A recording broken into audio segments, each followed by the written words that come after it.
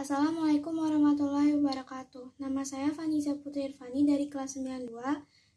Di video ini saya akan menjelaskan tentang hukum jual beli dalam Islam.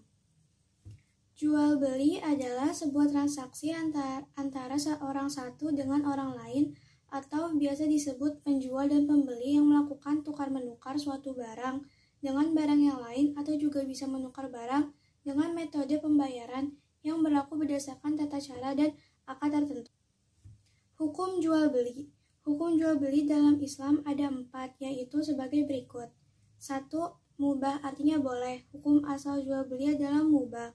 Artinya setiap orang Islam boleh mencari nafkah dengan cara jual beli dan juga boleh tidak melakukannya. Jual beli hukumnya mubah dengan catatan syarat dan rukunnya terpenuhi. Apabila syarat dan rukunnya tidak terpenuhi, maka hukumnya menjadi haram. Kedua, wajib artinya harus dikerjakannya itu harus mencari nafkah dengan cara jual beli. Hukum ini berlaku untuk orang yang mempertahankan hidupnya dengan cara berdagang atau jual beli. Tiga, sunnah artinya jual beli dikerjakan mendapat pahala dan di, jika ditinggalkan tidak dapat dosa. Dan yang keempat, haram artinya tidak boleh dikerjakan karena jika dikerjakan mendapat dosa seperti jual barang yang diharamkan oleh agama.